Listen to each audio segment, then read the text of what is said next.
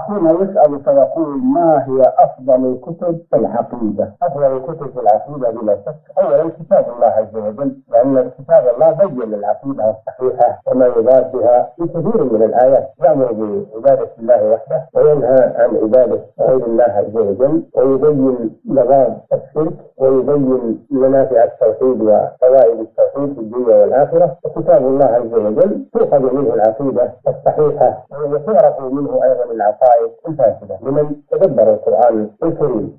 وكذلك سنة الرسول صلى الله عليه وسلم لأنها مفسرة للقرآن ومبينة للقرآن وفيها الدعوة إلى عبادة الله له لا شريك له. وترك عبادة ما سواه في كثير من الأحاديث النبوية. ومن سيرة الرسول صلى الله عليه وسلم في دعوته. وأما آه، الكتب المؤلفة في العقيدة فهي كثيرة ولله الحمد.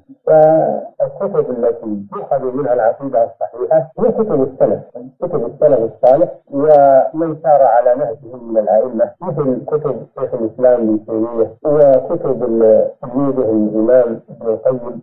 وكتب الشيخ محمد بن عبد الوهاب رحمه الله كتب تلاميذه وتلاميذ تلاميذه من أئمة هذه الدعوة؟ كلها والحمد لله كتب مفيدة ومبينة للعقيدة الصحيحة. وقبل ذلك كتب السلف وكتب الإمام أحمد رحمه الله وكتب غيره من الأئمة.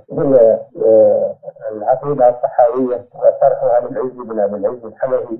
هذه أيضا من كتب العقيدة المفيدة المعتمدة كذلك كتاب الفقه الأكبر للإمام أبي حنيفة رحمه الله كذلك كتاب الرسالة للقيرواني المالكي وغير ذلك من الكتب السلفية المعروفة المعتمدة. خيرا